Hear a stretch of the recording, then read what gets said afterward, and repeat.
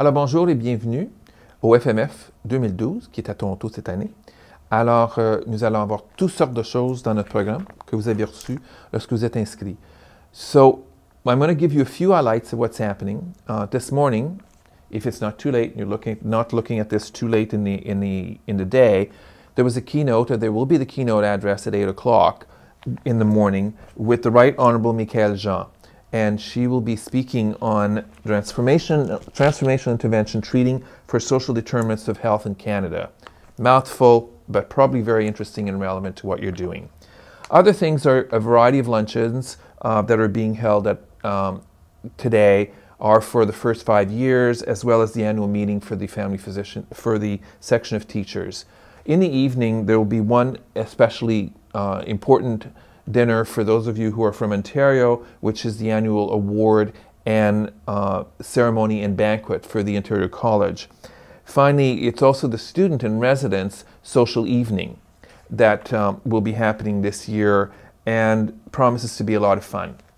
Now, the other things that I want to talk to you about is what's new this year in, uh, at the FMF. Puis une chose qui est très importante, c'est la nouvelle application du FMF.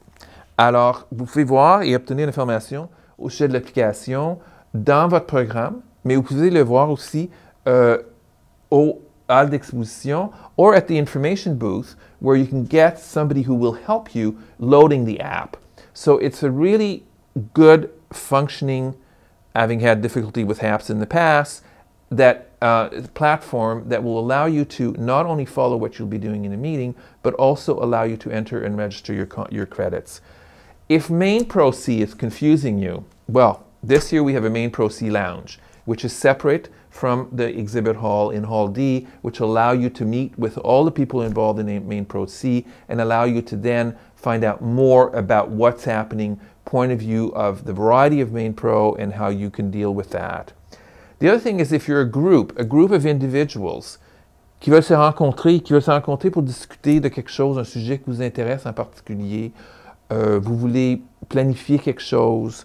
So if you're not on the program already and you want to include yourself, you have an opportunity to put yourself in uh, Hall D again. We will have meetings on the run, and you can just sign up daily um, for a period of time for which at which time you can meet. So I hope that you have a good meeting and a good conference and enjoy yourself. This is our first day. We'll be talking to you again tomorrow and Saturday with the highlights of the day.